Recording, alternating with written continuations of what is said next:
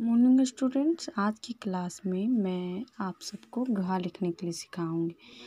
तो सबसे पहले आप सबको यहाँ से, इस ढंग से, इस ढंग से ऐसे लिखना है, ऐसे लिखना है, ऐसे लिखना है, ऐसे लिखना है, ऐसे लिखना है, ऐसे लिखना है, ऐसे लिखना है, ऐसे, और फिर यहाँ से ऐसे ऐसे ऐसे लिखना है, और इस पे इस ढंग से ऐसे लिखना है, ठीक? और इसको घा पढ़ते हैं। क्या पढ़ना है? घा पढ़ना है। इसको घा पढ़ना इसको घा बोलोगे। क्या है? घा। बोलो, घा। ठीक है? और एक पे साफ़ साफ़ राइटिंग में घा लिख लेना है।